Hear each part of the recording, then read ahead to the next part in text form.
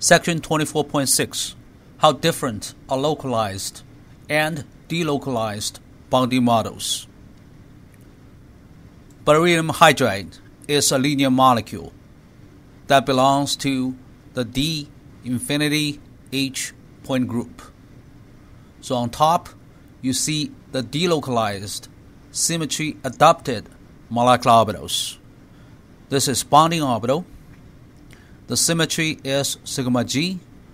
This is anti-bonding orbital with a symmetry of sigma u. These two are localized MO.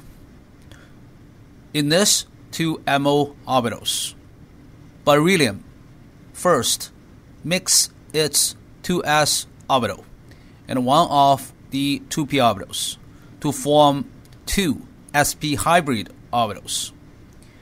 And then beryllium uses these two hybrid orbitals to form two bonds, two localized bonds with the two hydrogen atoms.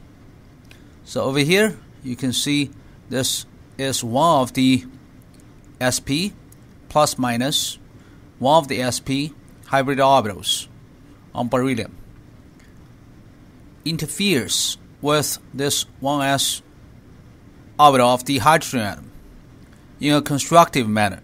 So you have a bond here. This is a sigma bond between beryllium and the hydrogen on the left. Similarly, this is another bond, another sigma bond between this beryllium and the hydrogen on the right. So now you can clearly see on top the MOs return the symmetry of the molecule.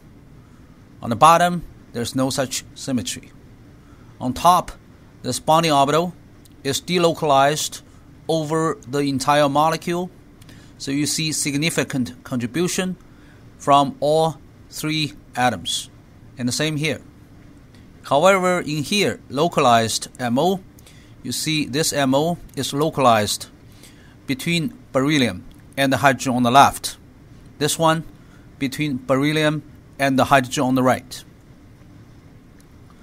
So first, I want to say molecular orbitals are simply mathematical functions used to describe the wave functions of this um, electrons.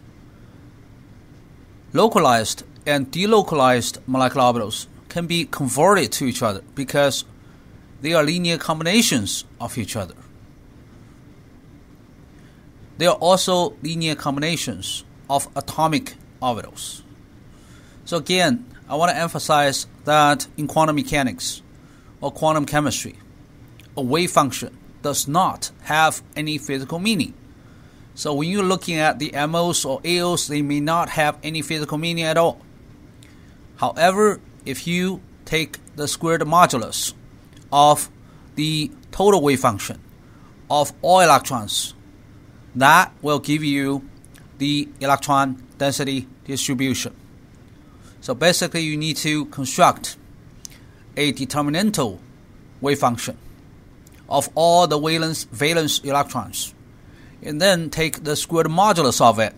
You'll get the electron density. And you can use this delocalized MO or localized MO, you will end up with the same electron density distribution.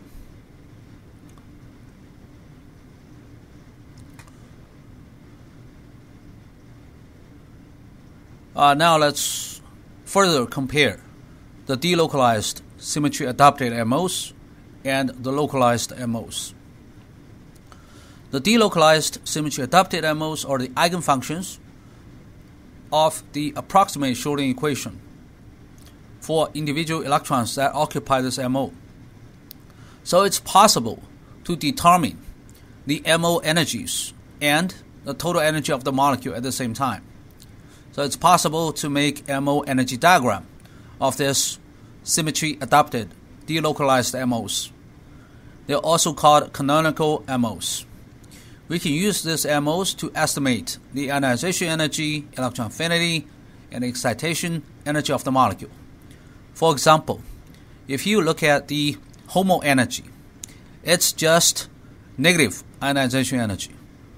If you look at the LUMO energy, well, it just corresponds to the electron affinity.